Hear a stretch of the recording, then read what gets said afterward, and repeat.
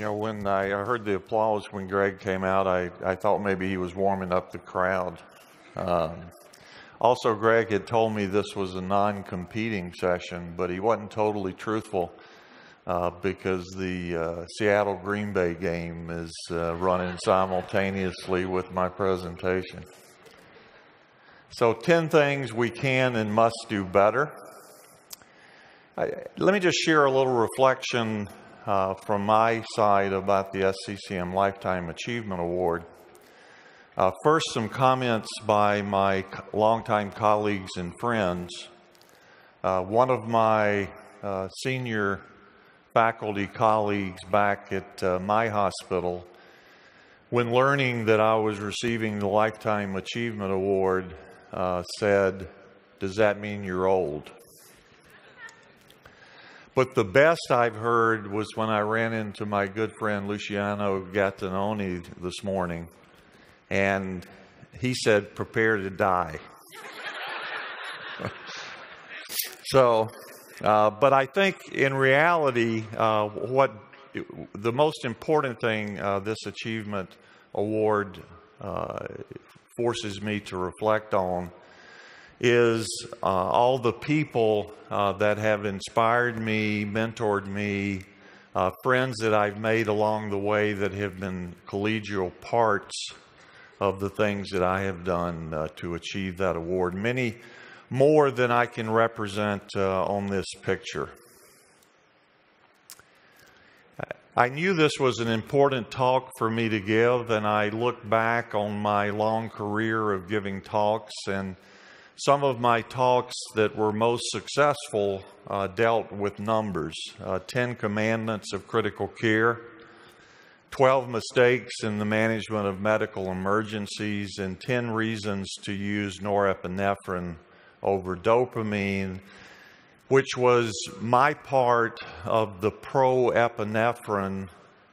And Jean Louis Vincent uh, was pro dopamine. And I bring that up because as I reflect on my career, I think my most memorable slide uh, came from that pro con where I said, Some of my best friends use dopamine.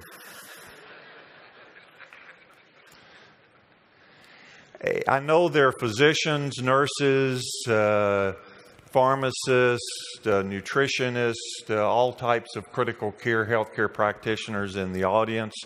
Uh, most of my things we can do better are, are, pertinent to pretty much everyone, but there are some are very physician centric, uh, either because they're more physician things or because the physicians are where we can do better uh, versus others. So, number 10 uh, is better electronic medical record documentation. How's your day going? Great. Only two more notes to write. Uh, 15 years ago, uh, that was not a central theme of conversation. You know, I find myself saying, you know, when are your notes going to be finished? You know, I've got eight done, got four more to go. Uh, still don't have the note. It's the end of the day. I want to go home. Uh, note's still not there. I can access the computer once I get home. But I think more importantly than that uh, is what was expressed in this opinion piece published in JAMA called John Lennon's Elbow uh, by Dr. Uh, Hirschtick. Uh, and what Dr. Hirschtick did uh, it's a very tongue in cheek, but very truthful about where we are with our EMR physician documentation, which is a lot of copying and pasting, sometimes with not good editing, notes that are written throughout the day with different time entries, uh, and uh, really a, a problem. Uh, with our notes, and notes tend to get bigger and bigger as the patient stays longer in the hospital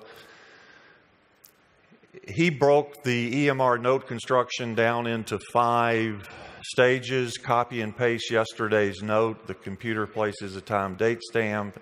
Uh, important import today's vital signs and lab results, keep all irrelevant CT MRI reports and consultants' recommendations. update, update a few items. This step is optional, and I know all of us all of us see patients that are three days extubated that are still intubated uh, in the progress note and then sign the note.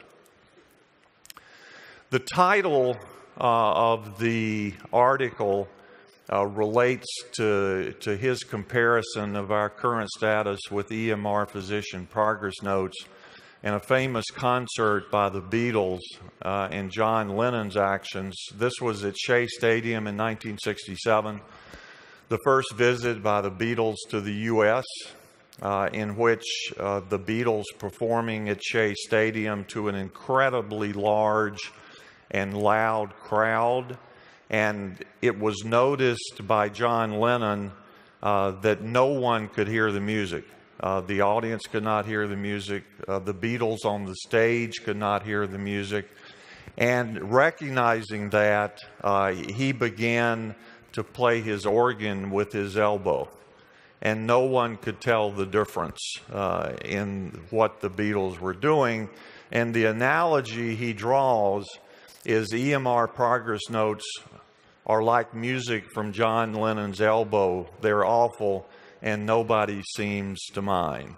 Uh, and I think sometime in, in the not too distant future, this does need to be addressed.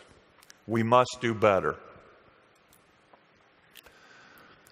Number nine, uh, patient safety, uh, another area where I think there's a lot of work to be done.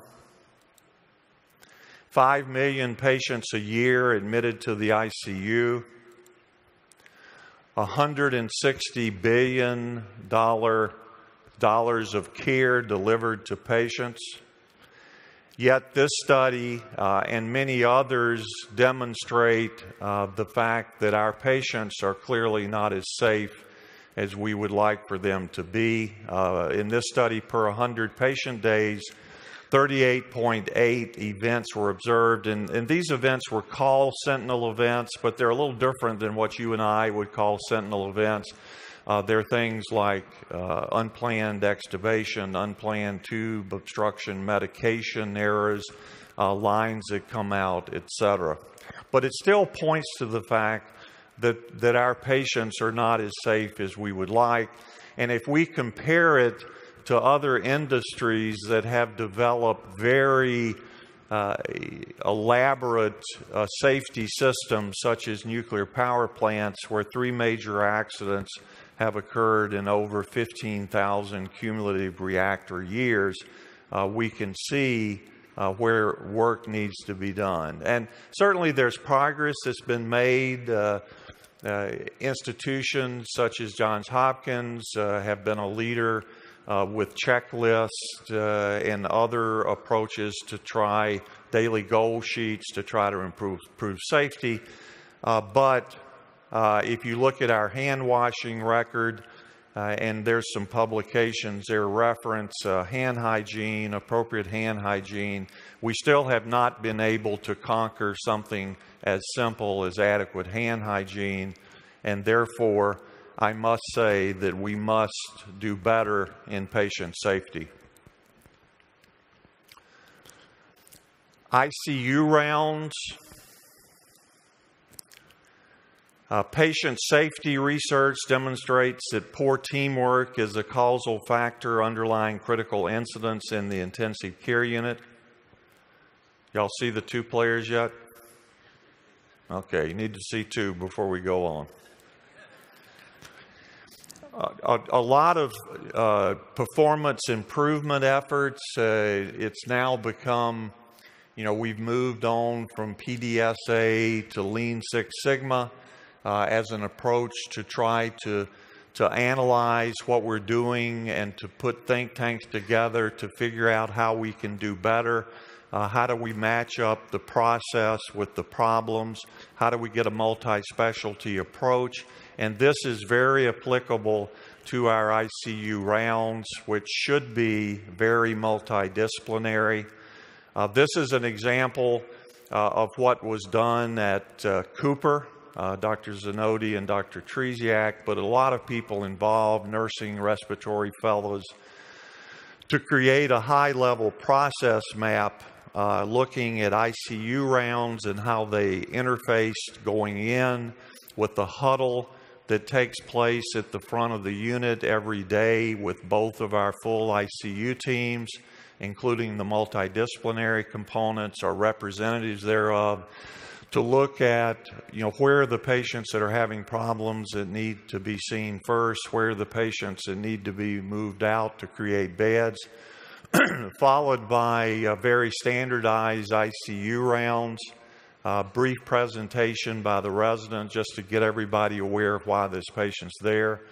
Uh, nurses uh, for their patients uh, presenting most of the information, what happened uh, over the last 24 hours, uh, what are the new lab, what are the things that need to be addressed by the team, uh, then moving into the room for discussion about assessment of plan, examination of patient, recap, and on the backside of ICU rounds, uh, standardization of uh, sign out.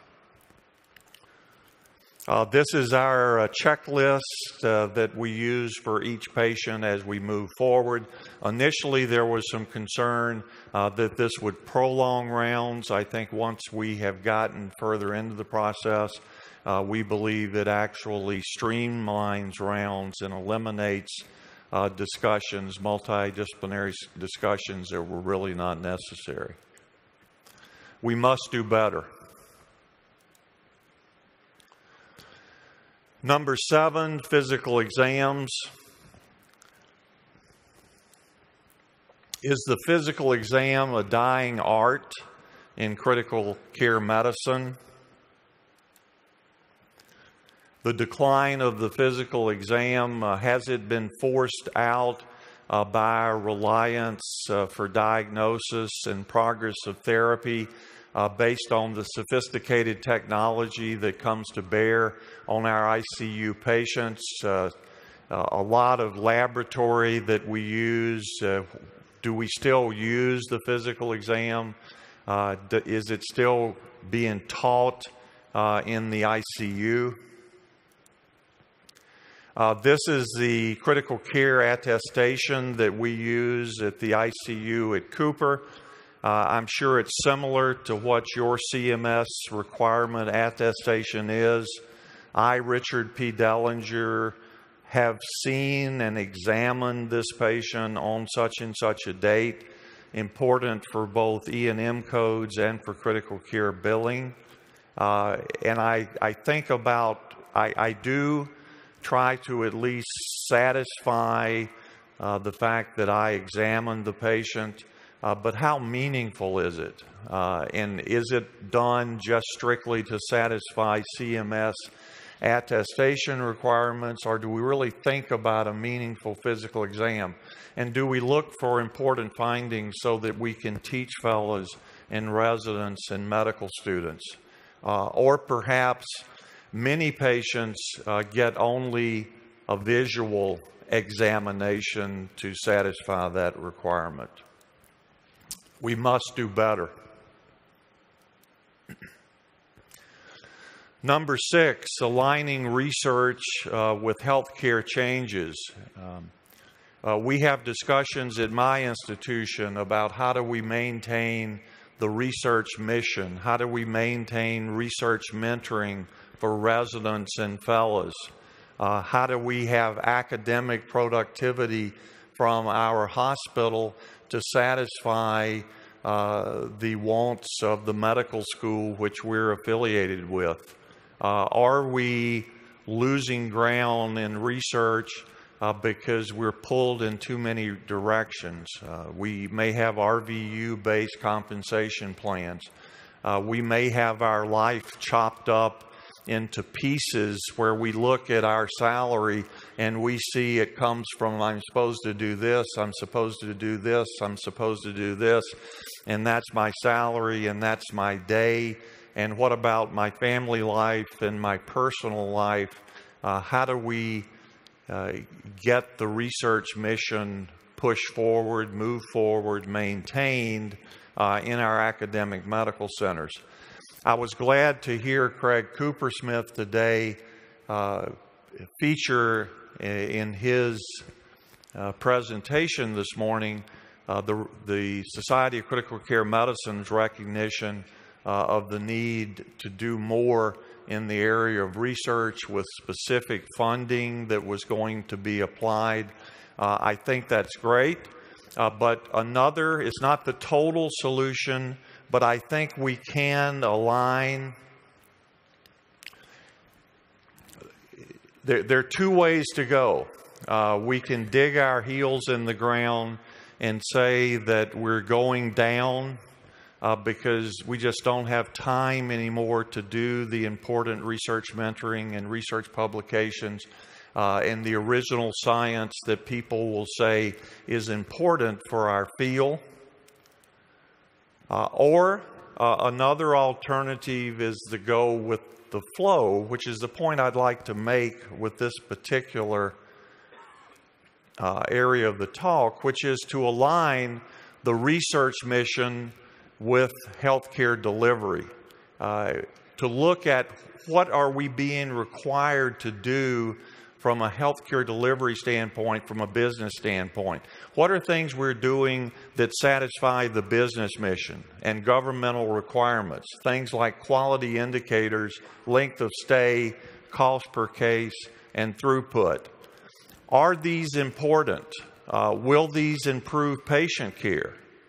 Uh, is a mission of original science to do research that will improve patient care? I think the answer is yes.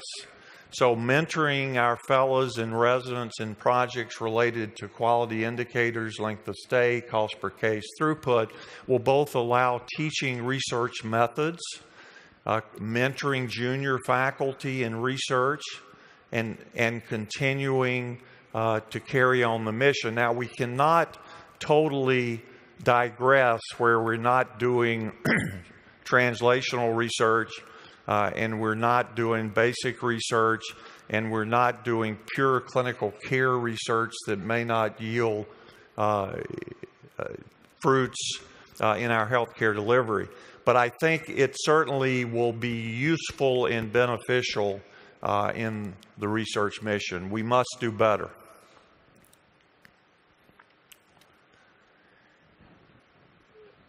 We're going to move now and talk more about uh, ICU care issues, and in particular, start out uh, with number five, which is pre ICU care, and talk about the history of fundamental critical care support. Uh, in 1992 in San Antonio, uh, I came up with the concept of fundamental critical care support. The reason that this idea came to me was as an intensivist. I saw patients that were transferred in from other hospitals or transferred into the ICU uh, during the day or night before I had a chance to assess them uh, that had had non critical care providers uh, make decisions that were very detrimental to that, that patient's care? And would it be possible uh, to create a course that would target non critical care practitioners that might teach them some basic concepts and principles that could be applied uh, that would save lives? Uh, the Russ Raphaely was the, the incoming president. Uh, Norma Shoemaker uh, was the administrative director. Uh, they listened to what I had to say. They thought it was a good idea. Uh, we got $10,000 begrudgingly from the council. Uh, one of the concerns from the governing council, now the board of directors, uh, was that we might be authorizing non critical care physicians to practice critical care by giving them a merit badge. Uh, I don't think that's proven to be the case.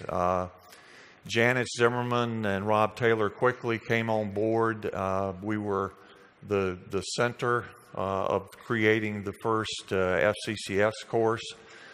Uh, Tim Buchman, our new editor, I remember him sitting at the back of the first course uh, critiquing the slides.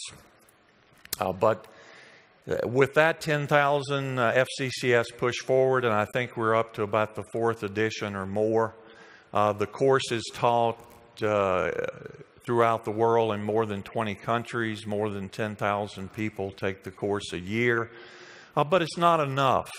Um, there is too much need for critical care pre ICU to satisfy with a two day course. Uh, I don't have necessarily the solution, but I can offer you one example, uh, maybe as a seed for other thought.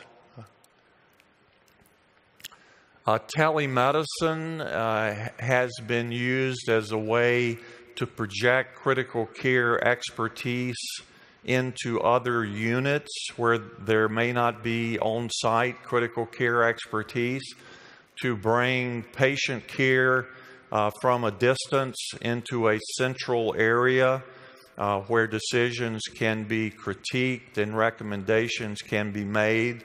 Uh, we can't do telemedicine uh, out in small emergency departments or on hospital floors at night where there's no critical care expertise. Uh, but I was struck uh, by this article last week in Wall Street Journal uh, looking at going more nano uh, with telemedicine like uh, technology. The future of medicine is in your smartphone. this particular article talked about the use by patients of smartphone technology in order to present data uh, from a distance that might be analyzed and diagnoses made by healthcare practitioners. But I was thinking uh, that maybe there's application to critical care. Uh, maybe smartphone like technology uh, could be used in EDs or used on floors where it could be tapped in uh, either through software programs or through actual uh, critical care healthcare practitioners uh, to assist in the early management of critical illness. Uh, but I think we do need to try to figure out how to bring more critical care to the bedside early in the diagnosis of critical illness. We must do better. Number four, uh, post intensive care syndrome. Uh, this is the term uh, that was proposed by our organization, and I think much more uh, aptly describes what we're dealing with than previous definitions. Uh, again, I was glad this morning in Craig Coopersmith's uh, presentation that he talked about some new efforts that are coming out by the Society of Critical Care Medicine uh, recognizing this important need, or in my mind, this area where we can do much better.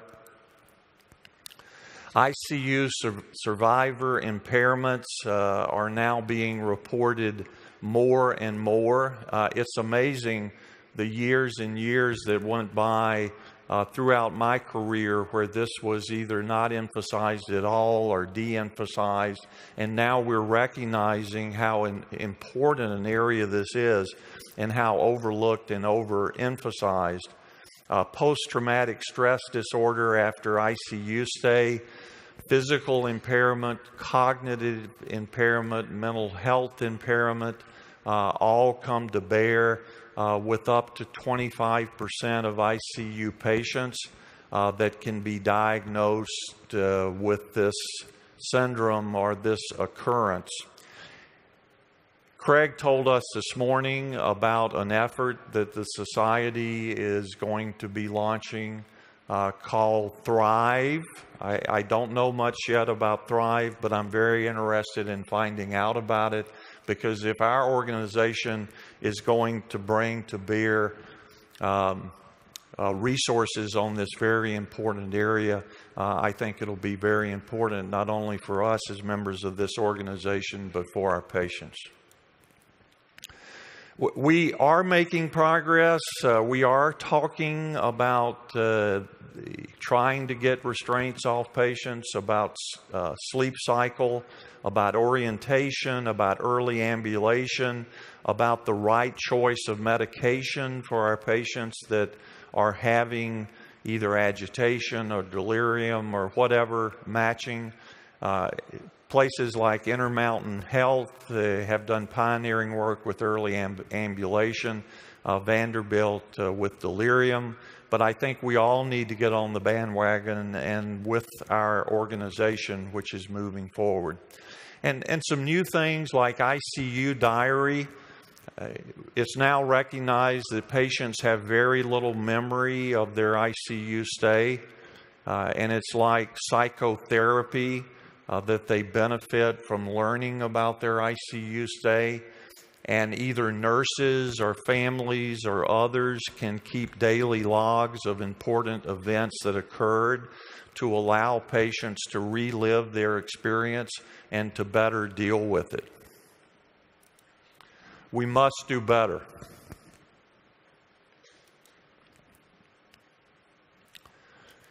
Uh, most of you were figuring that I certainly would not get through this lecture without saying something about sepsis, severe sepsis, and the Surviving Sepsis campaign. The, the thing that I'll say uh, first is that it's amazing to me uh, what has come out of the Surviving Sepsis campaign.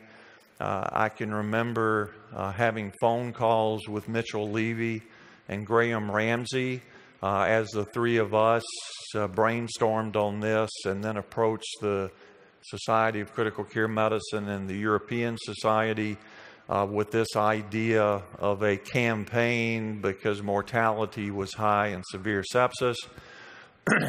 phase one was going to be the guidelines. Now, phase one was just uh, publicizing and getting the public and uh, the media to understand the gravity of the problem of severe sepsis. Uh, step two was the guidelines, and then step three was to decrease mortality. And when we uh, managed to get through phase one and phase two, uh, we looked at each other and said, Oh my God, now we've got to do phase three. Uh, and we really didn't have any idea uh, how we were going to do phase three. Uh, and the Institute for Healthcare Improvement actually contacted us to see if they could partner with us uh, in a performance improvement program with sepsis bundles. Uh, it, the program has grown tremendously and is now uh, one of the hallmark programs for our organization in the European Society of Intensive Care Medicine. Uh, most of you are familiar with the two recently published trials, uh, the ProCESS trial and the ARISE trial. Over 3,000 patients uh, comparing different uh, resuscitation approaches, early goal directed therapy, process care protocol without CVP, and usual care. Uh, I'm not going to get into anything having to do with how those arms differed uh, because I don't need to. Uh, all I need to do is say that there was no difference between those five arms, and the mortality uh, was 18 plus percent. Uh, that's to me is the take home message. Now, why is our mortality 18 plus percent in our academic health center, our larger hospitals that are capable of participating in clinical trials? Uh, I'm not going to stand up here and say that it's due just to the Surviving Sepsis campaign, but I think the Surviving Sepsis campaign can appropriately say that they're likely part of this decrease in mortality.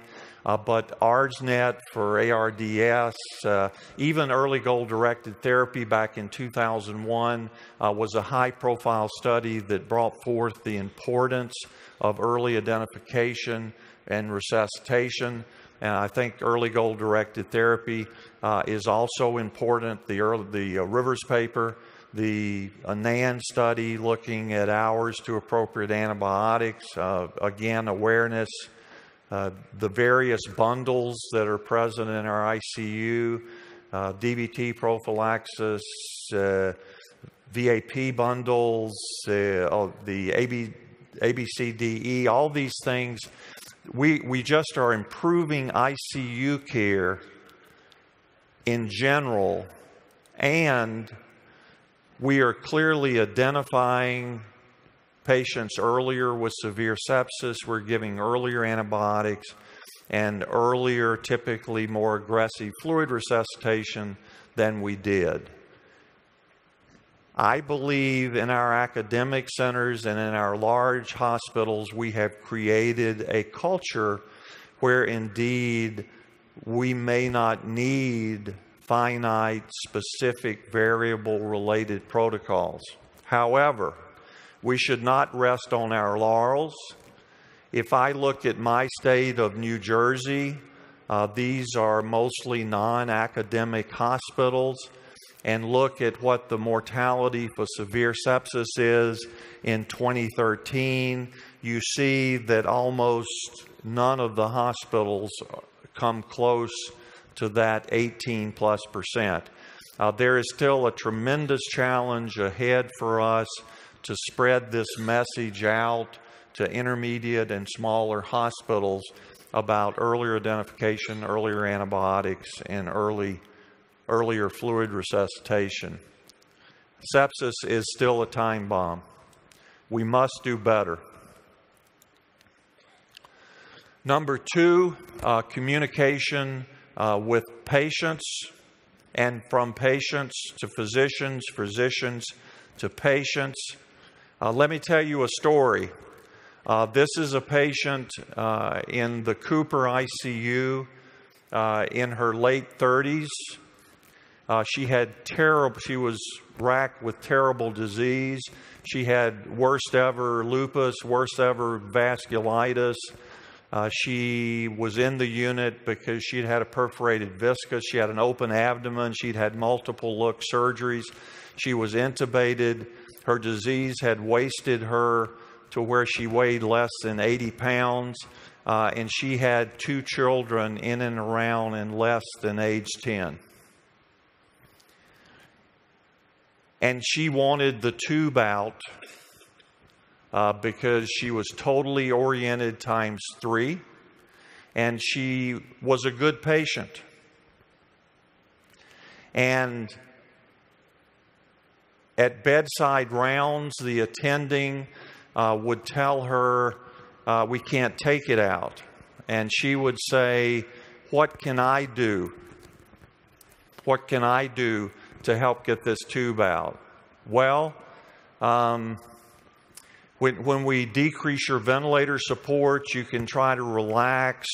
Uh, don't breathe fast. Uh, the various things that we can tell patients just uh, so that they feel like that they do have a potential.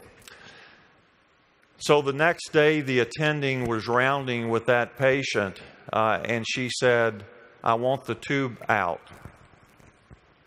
And the attending said, "We can't take it out." Uh, and she wrote voluminously on papers that she showed everyone. And this is what she wrote. She wrote, I did everything you asked me to and more.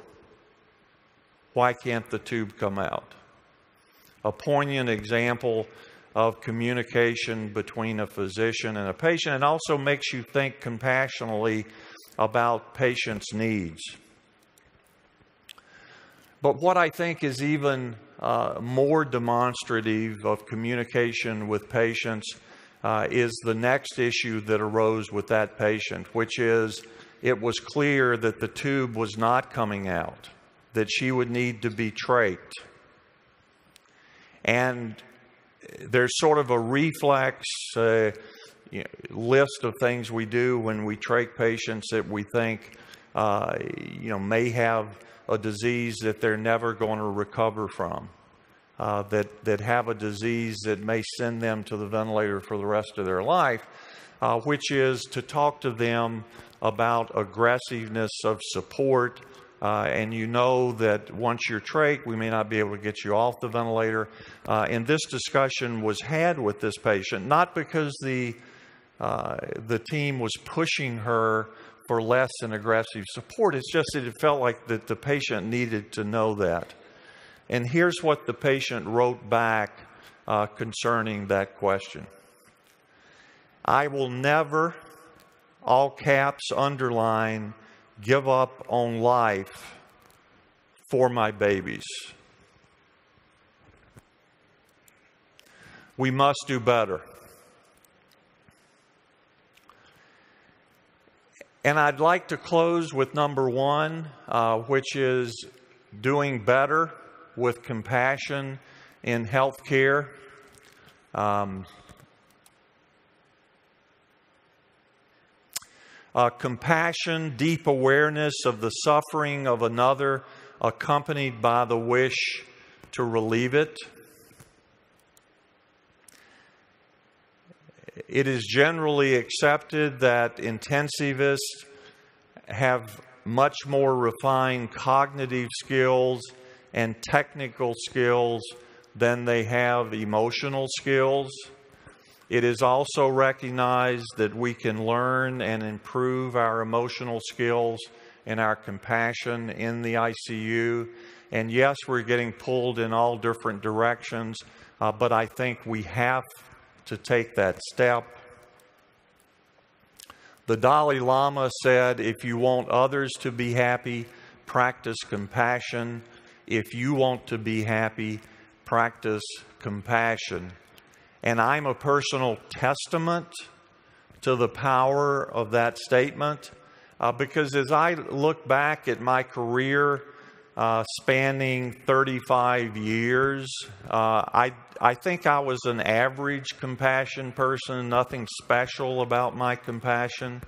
Uh, but over the last five years, uh, I have made a concentrated effort to hold more hands to try to communicate with more patients, to try to talk with patients, even briefly, about things that are not related to their medical illness, to communicate to them uh, that I care for them. Uh, and the payback for the patient, I, I believe, is large, uh, but the payback for the physician and the healthcare provider is also large. Uh, I get, I find that I think I get as much out of this as the patient.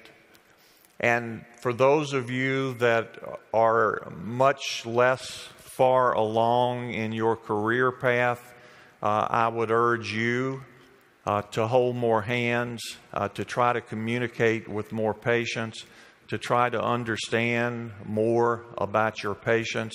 And I'll close with this quote Patients don't care how much you know until they know how much you care. Thank you.